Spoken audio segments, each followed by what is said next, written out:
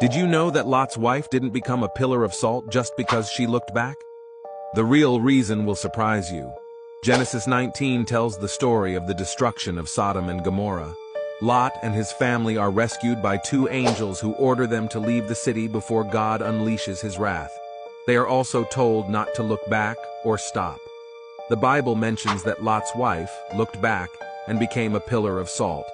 But in fact, the Hebrew verb in that verse is very similar to look back.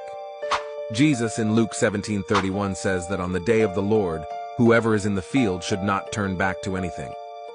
In verse 32, he says to remember Lot's wife, indicating that she not only looked back, but also tried to turn back. But because she became a pillar of salt. In Deuteronomy 29:23, it says that Sodom and Gomorrah became a wilderness of salt and brimstone from heaven.